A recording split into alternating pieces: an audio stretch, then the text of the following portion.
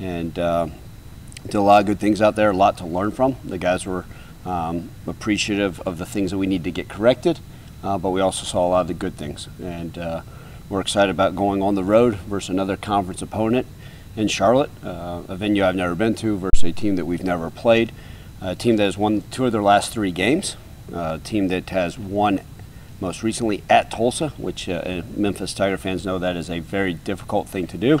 They also won on the road at East Carolina. Uh, they've got multiple quarterbacks they play, which we know has uh, given us issues uh, in the past. Um, and they've got a lot of talent. They've got 10 of their 11 starters on defense are transfers. Nine of those 11 are Power Five. Um, they look very similar to a lot of the rest of the teams in our conference and some of those that we've played at a Power Five level. They're very talented. Uh, we're going to have to be great this week in our preparation, and we're getting ready for the Charlotte opponent. Get the obvious questions out of the way, do you have any injury updates starting with Seth? Yeah, Seth will be day to day um, to figure it out, but you know, obviously we don't practice today.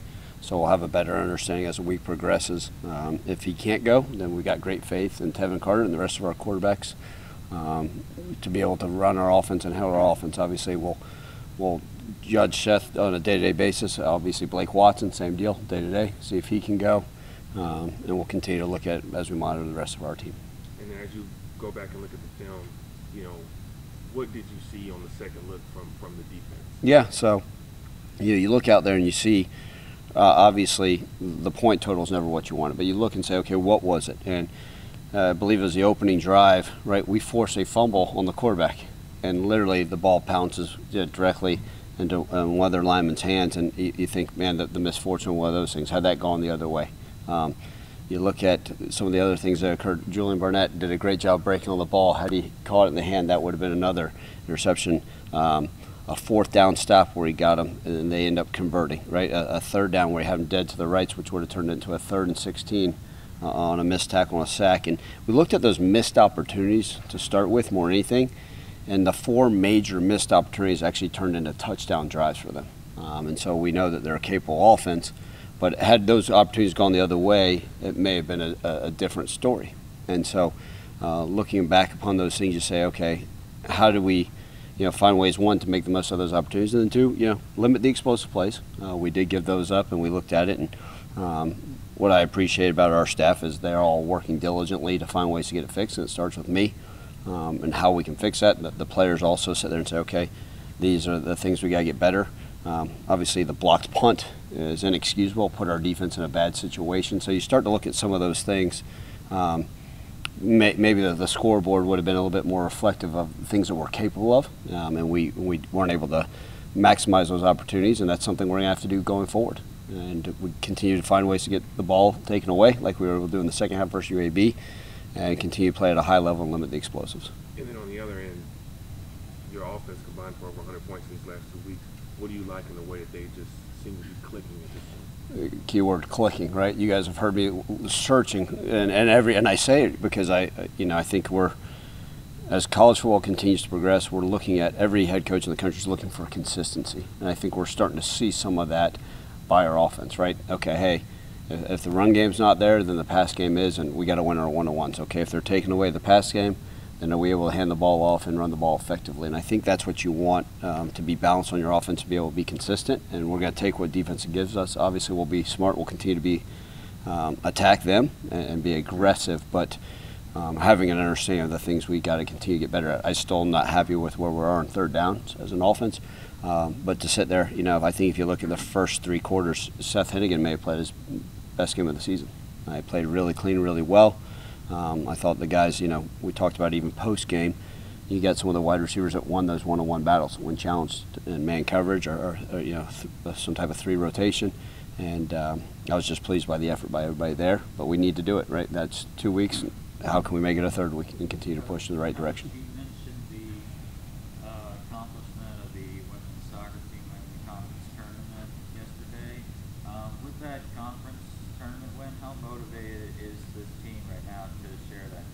Yeah, look, uh, I've I've always had such admiration and respect uh, for so many of the sports around here, but let, us call it what it is. Our, our, women's soccer team, what they've been able to accomplish, what Coach Brooks and his staff have been able to do, um, not just one year, but a multitude of year after year after year, not since since I've been here, but long before I was even here. He's done it at such a high level, and the culture he's been able to create is outstanding. And so, I've actually at one time, you know, I'll, I'll go out there in the middle mornings, and there's only one other group out there. It's usually the women's soccer team, and they're they're out there running and working, and they they outwork almost every program um, at the university, and they just do such a tremendous job. So I've even I've, I've talked to our team about look, this is a team that's consistent that does it the right way, and I think that there's few football programs or fo- football coaches that have the confidence in themselves and their players to sit there and say, okay, here's our women's soccer team. Look at all these wonderful things they're doing, the way they work, the way they handle themselves, and this is what we need to strive for. And so,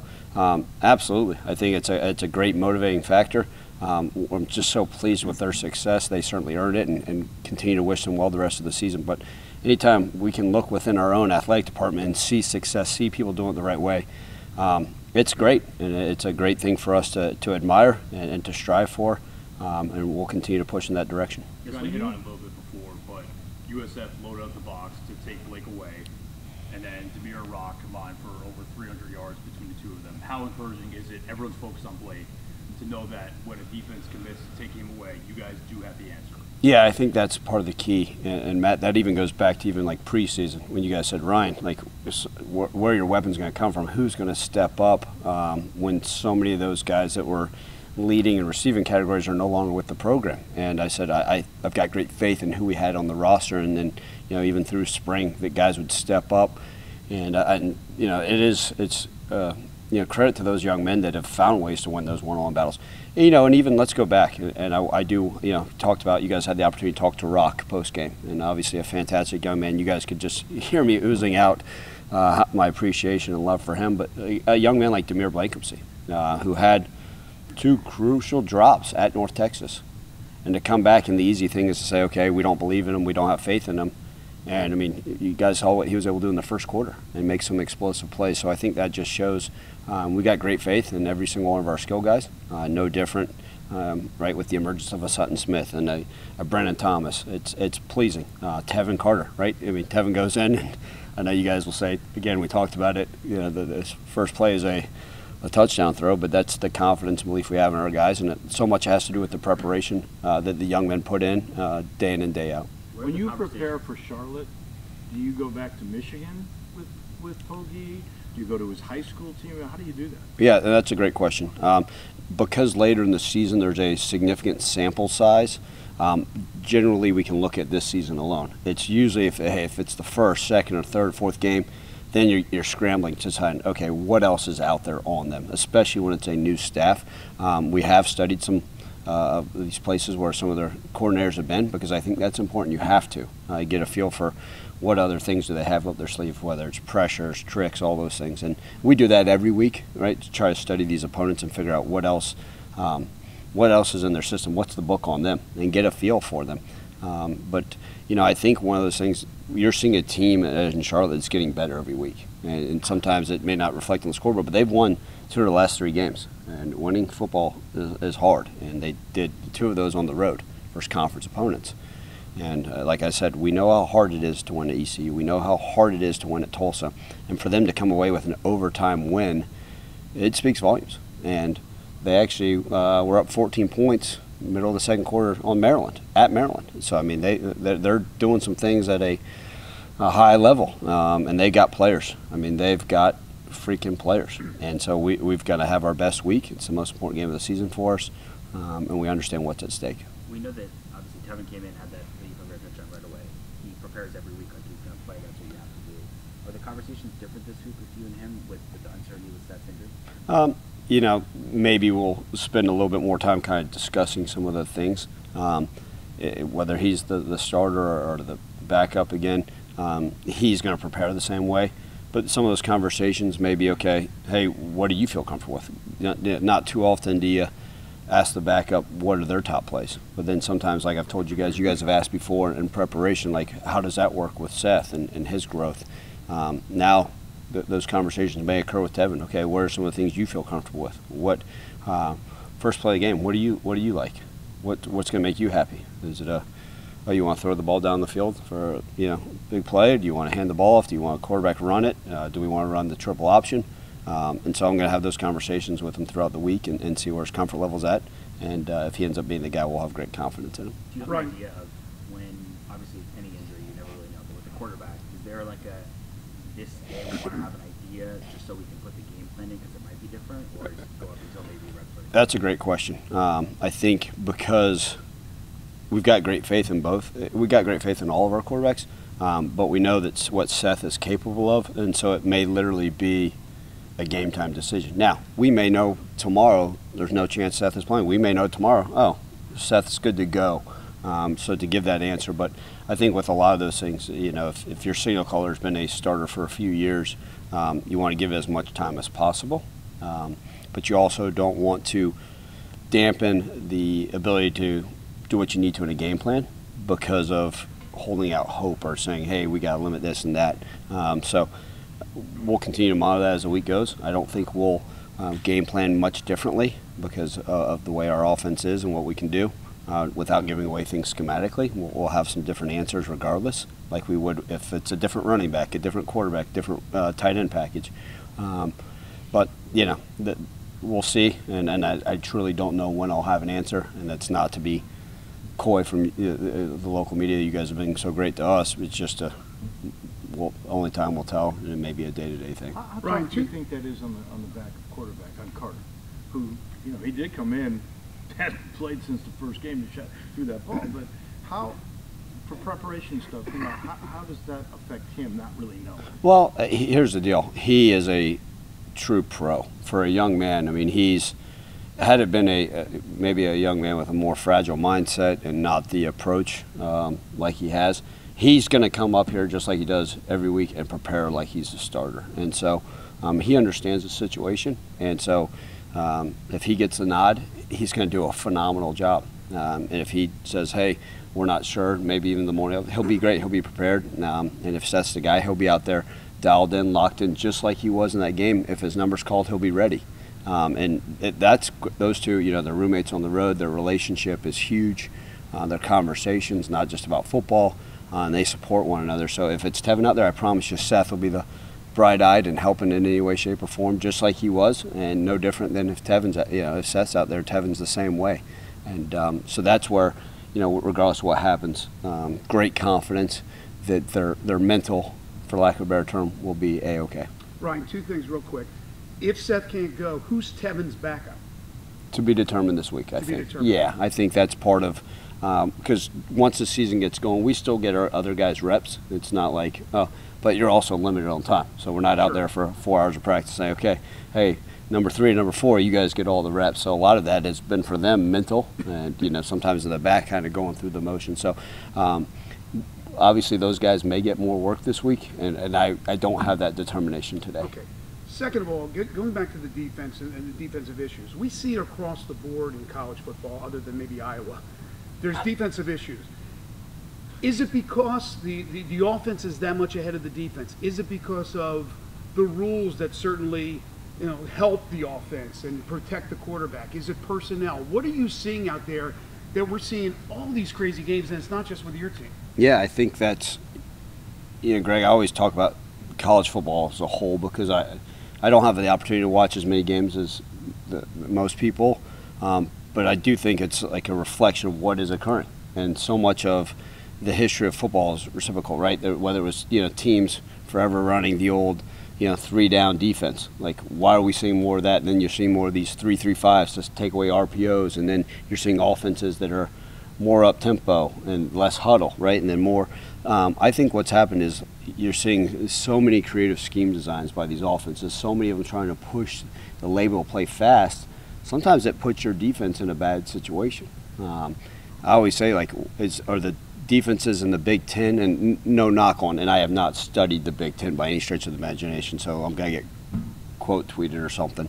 Um, but the defenses seem to play really well in that conference. Well, they're also look at are they running the ball more, you know? And I go back to um, a, a quick study of like Stanford.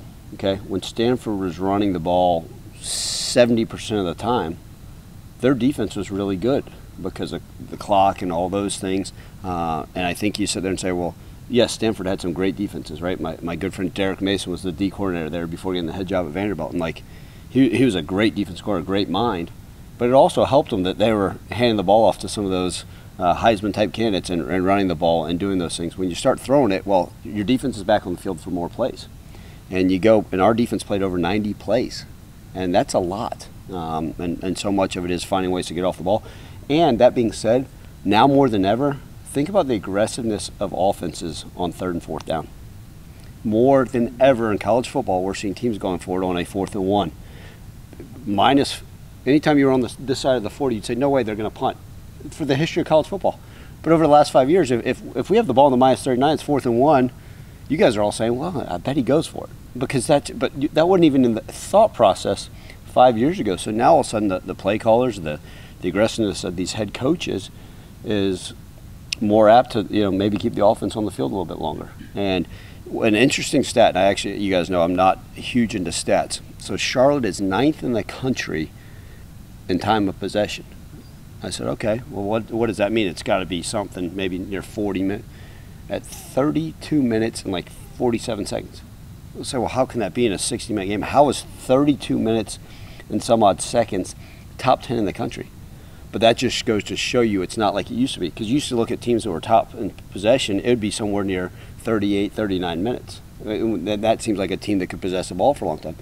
Well, more and more teams are coming closer to the median and saying, okay, wow, it's it's it's pretty interesting. So I think um, that's all part of it, and it's unique to study. I don't know if it'll change.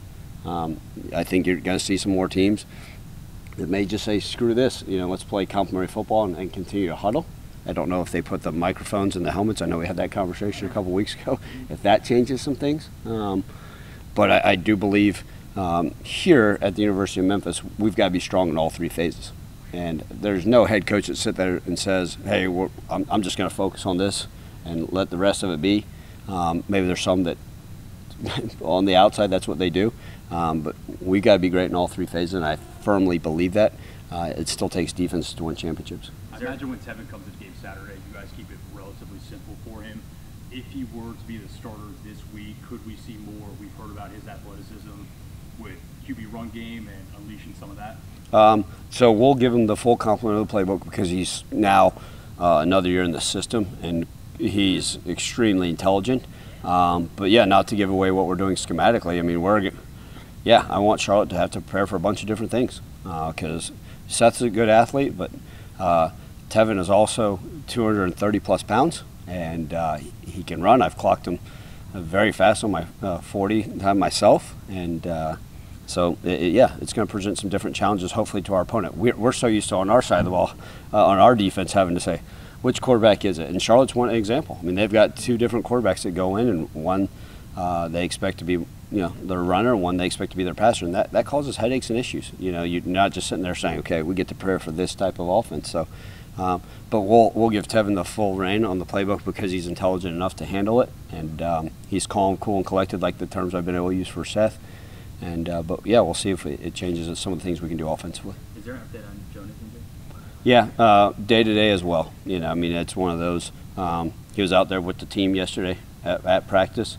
Um, it's just to see, you know, is he close enough where he can be able to go? And if he does, does that mean we shuffle our offensive line back to how it was a few weeks ago? We'll see. Uh, you, you talked about a couple weeks ago when we asked you about Trent Dilfer, but Biff obviously is a kind of unique hire. I'm curious what you made of it at the time, and then like having watched them is it surprising what anything that he's done there? No, I mean, look, he's going to do it his way. I don't know him uh, individually. I've got to shake his hand and have a brief conversation with him at our coaches meeting.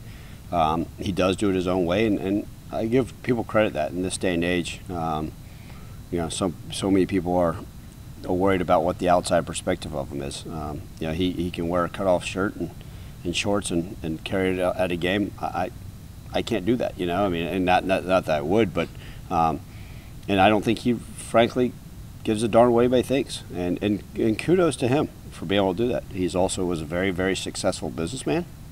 Um, so he knows how to run an organization at a high level. Um, you know, I know that they, um, you know, that they have a decent amount of NIL money uh, that they've spent on this roster, and I think that's one of the reasons why you're, you're seeing some of those names. They're like, wow, how'd they end up getting that guy?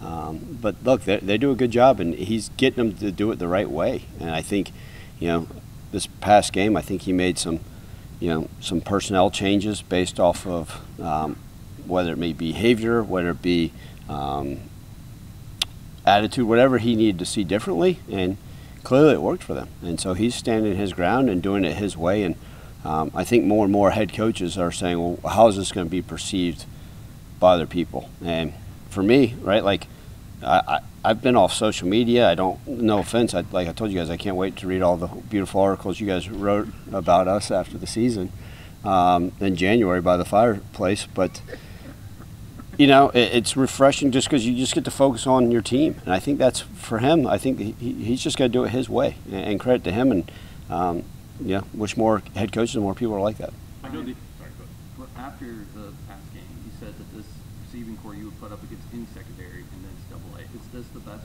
receiving core you've coached in Memphis? Oh, look, we've had some studs, you know, so now uh, we'll make sure that one's out there. I mean, look, guys like Anthony Miller, I mean, phenomenal. Uh, Anthony Miller will go down as one of the all-time greats.